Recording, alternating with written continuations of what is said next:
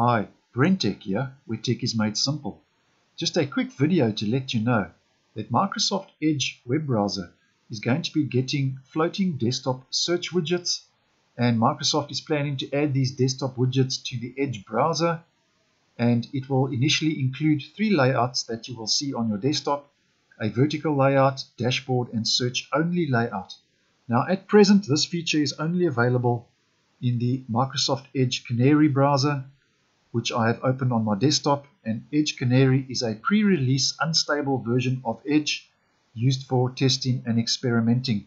Now in Edge Canary if you'd like to enable the desktop widgets just go to the top right to the three dotted menu go down to more tools and click on launch web widget and here we have our vertical layout which is the floating desktop widget which is one of three layouts mentioned earlier and we can see we can move the floating widget anywhere on our screen. And we are greeted with a search field, our weather, our headlines and other topics of interest. So basically it just supplies a news feed taken straight from the Edge browser itself. And then we also have the option to pin it to our desktop. And if we open say Edge Canary we can see now that the desktop is shared between the main application window and our widget. So if that is something that you would prefer, you are able to do that. And then you can also minimize and auto hide the pinned uh, desktop widget as well, which pops it into a little icon in your system tray in the bottom of your taskbar in the bottom right. So you can just open your widget again and then you can unpin it so there are a few options available at present. And then if we just go look at the settings, we can uh, enable the dashboard layout, which gives a dashboard layout view to your desktop.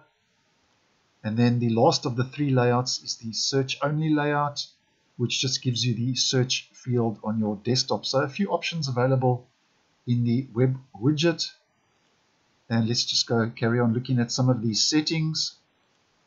And then you can refresh the newsfeed and then it also has a floating button which is enabled by default. You also have the option to disable the floating button. And if we minimize the widget you can see that there is a floating button on my desktop.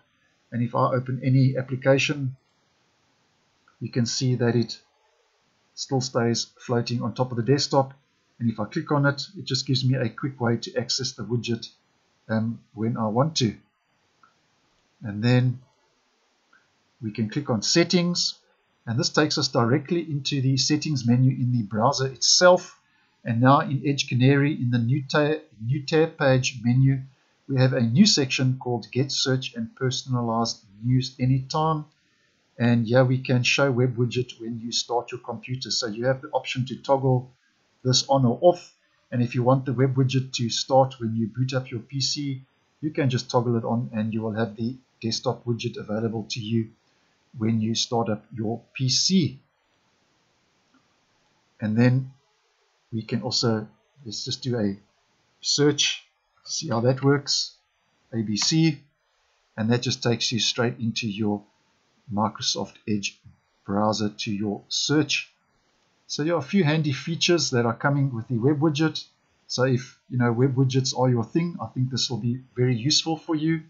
And you can also, when it is minimized, if we go back to the icon in the system tray, you can also close out the widget completely.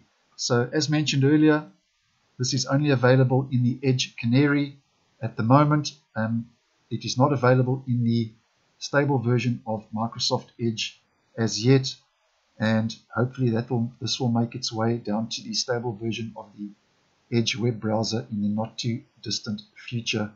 I hope you found this video useful. Once again, thanks for watching and I will see you in the next one.